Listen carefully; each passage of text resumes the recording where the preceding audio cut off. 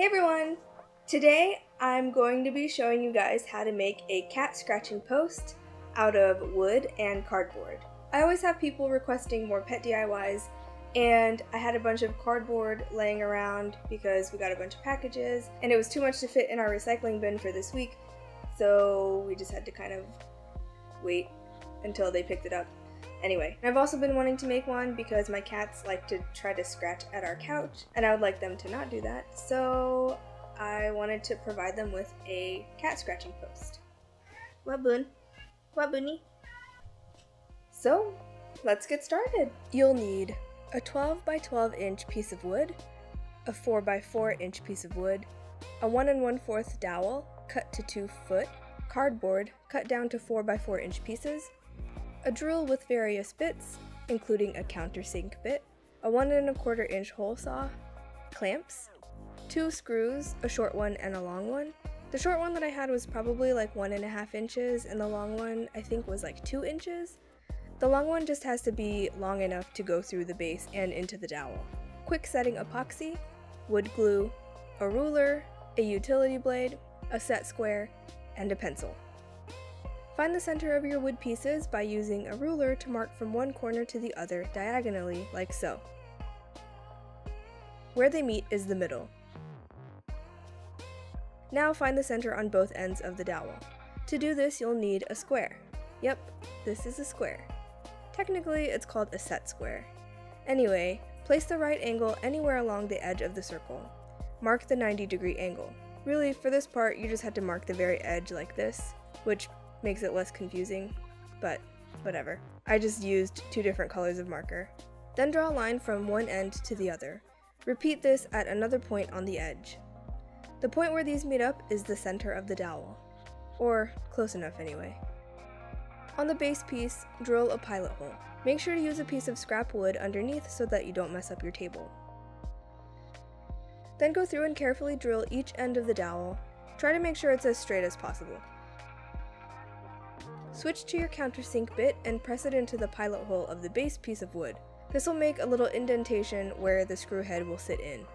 If you don't have a countersink bit, you could just use a bigger drill bit and drill down a tiny bit, so the screw head sits in there.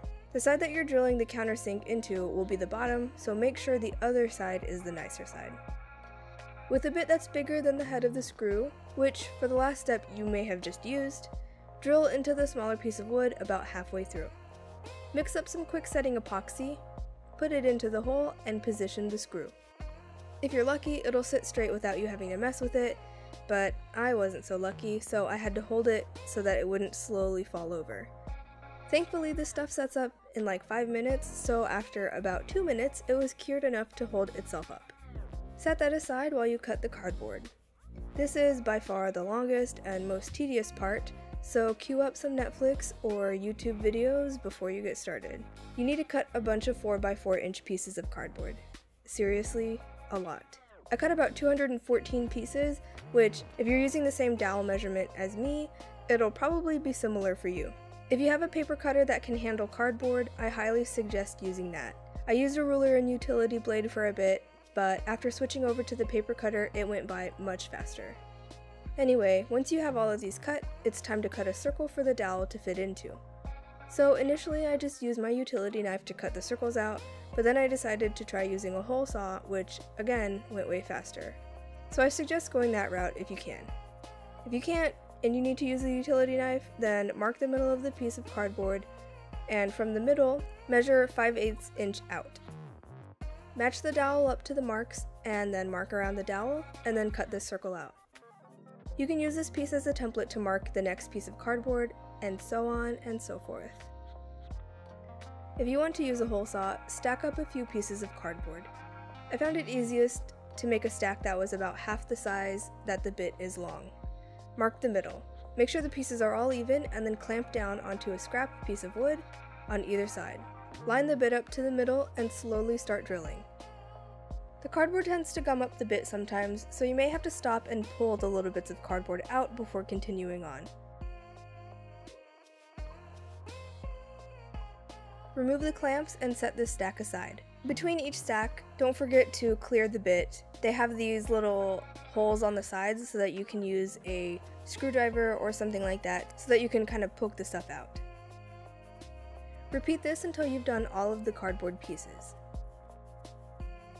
Then all you gotta do is put it together. Screw the long screw into the base piece. Then you can thread the dowel into place. When it's almost all the way screwed on, add a bit of wood glue to the base where the dowel will sit, then continue threading it on. For a really tight, secure fit, you may want to use the drill a little bit to tighten a bit more. Wipe off any excess glue. Then start putting the cardboard in place. I opted to go for the straight look, but I've seen cat scratching posts similar to this where they twist the cardboard around into different designs. Just play with it to decide which way you want to go. The last few pieces may not look like they fit, but if you compact the squares, you'll see that it fits pretty perfectly. I wanted them to be pretty squished together so that the pieces weren't spinning around whenever my cats went to use it. Take the small piece of wood and screw it into place. And there you go. The scratching post is complete.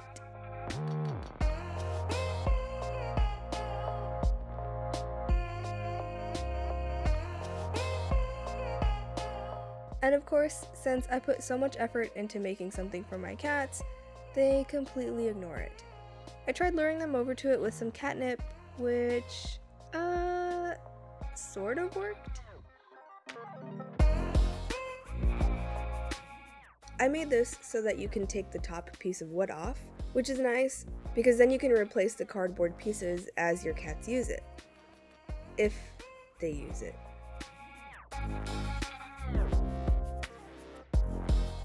I hope you guys enjoyed this week's project. If you did, please leave a like. If you want to see more, then feel free to subscribe.